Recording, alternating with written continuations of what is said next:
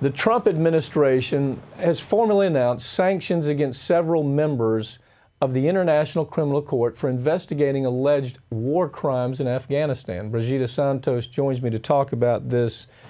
Brigida, uh, it's, it's, kind of a, it's kind of a crazy stretch to say, look, somebody's investigating a war crime, and now we're going to sanction that person for investigating war crimes.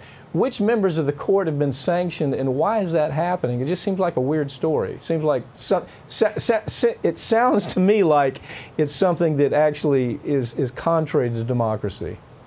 What's your take? Well, it is. Now, the Trump administration has frozen the U.S. based assets of the International Criminal Court's chief prosecutor, Fatou Bensouda, and the head of jurisdiction, Phakiso Mochochoko, and also blocked U.S. companies, people, and banks from dealing with them. Now, these sanctions are not a surprise because President Trump did sign an executive order announcing them back in June. As for why, well, early in 2019, prosecutor Bensouda called for an investigation of American armed forces and members of the CIA, citing information that they committed war crimes and crimes against humanity against conflict related detainees at CIA detention centers in Afghanistan, Poland, Romania, and Lithuania in 2003 and 2004. Those allegations include abuse, rape, cruel treatment, sexual violence, and torture. The U.S. has basically been trying to squash that investigation ever since then. So, so at this point, what they've done is they've they've tried to well, well, they've attached the assets of these people in the United States. They've told them that they can't come to the United States, and if they do, they're going to be arrested.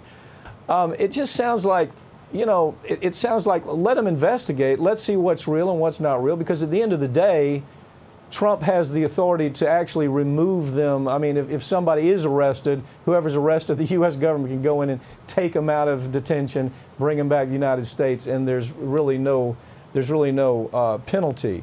So it, it's it's odd to begin with. But I'm wondering, is there any credibility to Mark to to Mark, uh, Mike uh, Pompeo's claim that the U.S. doesn't have to cooperate with this investigation? Yes, Secretary of State Mike Pompeo says the U.S. doesn't have to cooperate because it's not party to the Rome Statute Treaty that created the ICC. Now, technically, he's correct. The U.S. does not have to cooperate, but the International Criminal Court is the only permanent autonomous war crimes court in the world, and any individual, including U.S. citizens, can be brought before the court as it investigates alleged crimes that took place in countries that are party to the Rome Statute, which would make them subject to the court's jurisdiction. And in this case, that includes Afghanistan, Lithuania, Poland, and Romania, where the alleged crimes occurred. Now, the court can also investigate and, where warranted, prosecute individuals for war crimes when countries are unwilling or unable to prosecute. And while Pompeo says the U.S. has its own procedures in place to deal with service members who commit crimes, Torture is illegal under American and international law, and yet no one other than former CIA analyst John Kiriakou has been prosecuted in connection with CIA torture. And to remind you, he was not imprisoned for torturing anyone, but for publicly confirming the agency's use of waterboarding and other torture tactics. Yeah. How is this going to impact the future of these kinds of inquiries? Isn't that what we should be worried about? I mean, you know, it's, it's a two way street here, isn't it?